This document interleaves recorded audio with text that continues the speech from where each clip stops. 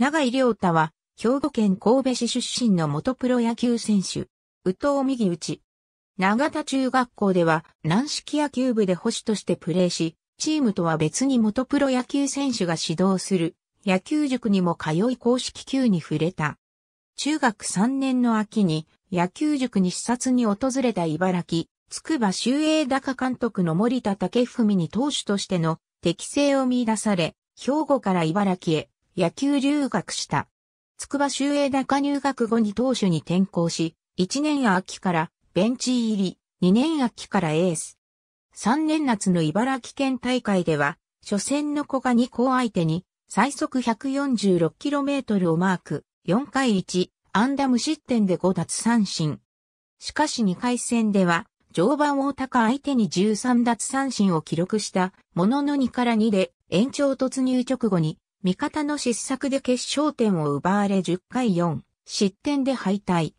2016年のドラフト会議で広島東洋カープから6位指名を受け、契約金2500万円、年俸450万円で入団。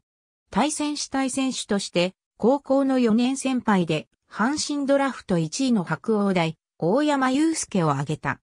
2017年は公式戦登板はなく、2軍のウエスタンリーグで15試合に登板した。2018年5月4日、東京ヤクルトスワローズ、戦での救援登板が公式戦初登板となり、3分の1回を無安打、無失点に抑えた。2019年は1軍出場がなく、2軍でも13試合の登板に終わり、10月21日戦力外通告を受けた。最速時速 154km のストレートに、スライダー、フォーク、カーブを混ぜる。フォームは、菅野智之の左足の上げ方を取り入れたほか、大谷翔平を参考にストレートに強い縦回転を加えたという。